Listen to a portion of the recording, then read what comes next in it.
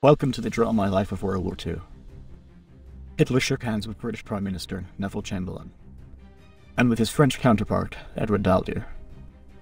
There would be no war because the Germans were content to dominate Austria and Czechoslovakia. Or so they thought. But within Hitler, there was no diplomat. Just a conqueror, and a very violent one at that. The CCC simulated an alleged attack by Polish troops on a German radio antenna. The Nazis already had an excuse, and on September 1, 1939, they attacked Poland mercilessly, killing military and civilians and destroying 75% of the region. World War II had begun. The Nazis were eager to implement a new military tactic, that they called Lightning War. It consisted of concentrating the greatest possible number of artillery in a narrow front. Thus, a gap was opened in the enemy lines. And that's how they invaded. Poland, Denmark, Norway, Belgium, the Netherlands, Luxembourg, Yugoslavia, Greece, and France. But in France, Hitler made a mistake. He sent his soldiers to reorganize instead of annihilating the Allied army, which was evacuated in Dunkirk thanks to the help of hundreds of private boats. True unsung heroes. It was in this battle that Mad Jack began to be known. The famous intrepid soldier who fought with a sword and bow during the war. The last man in history to kill his enemy with a bow and arrow. After the evacuation, it was England's turn. But Germany couldn't compete with the British troops that prevailed in the sky.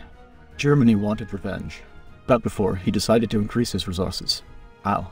Nothing less than attacking the USSR in Operation Barbarossa of 1941. It was a bloody battle where the USSR lost a terrible number of soldiers. In fact, only two out of ten men born in 1923 in the Soviet Union survived this war.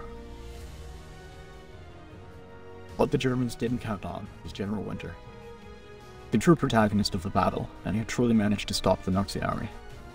The USSR soldiers were also cold, but had their tricks. For example, there were bigger boots to fill them with straw. And while the Nazis were cold in Russia, the Japanese went into action against the United States in the attack on Pearl Harbor. This was the trigger for the United States to go to war.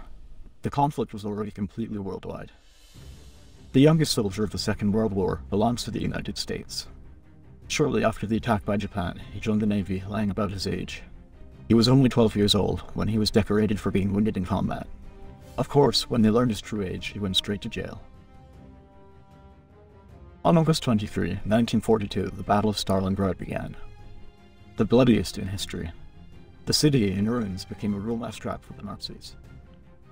When the German commander Friedrich Paulus surrendered, nearly two million people had already died. The Nazi army had to withdraw from the Caucasus. The Allies break into Italy and disarm the Mussolini dictatorship. Russian troops start advancing through Europe to Berlin, while the Allies carry out the Normandy landing, which overflowed the German defences. Paris was released from the Nazis by the Spanish Republicans of the Nine, and it was just at this point in the war that the Nazi death camp surfaced, where six million prisoners died. Many of those who were able to escape, it was thanks to the Monopoly board game, that the British sent their prisoners with encrypted messages. On March 26, the United States took Iwo Jima and Berlin fell to the Soviets. On April 30, 1945, Hitler committed suicide with Eva Braun. Germany surrendered. After the bombing of Hiroshima and Nagasaki, Japan also surrendered. And on August 14, 1945, the Second World War was over. Although Russia and Japan never signed a peace, so theoretically, the war is not yet over for them. And that's the draw in my life of World War II. What is the most interesting part for you in this conflict? Leave it in the comments. And you already know, give us a like and subscribe if you haven't already. And now, the funniest comments of our draw my life, summer versus winter.